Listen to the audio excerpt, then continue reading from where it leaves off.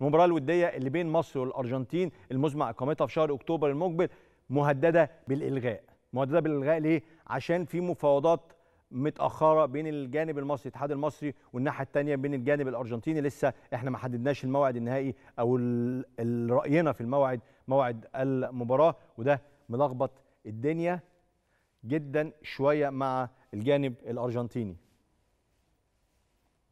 طيب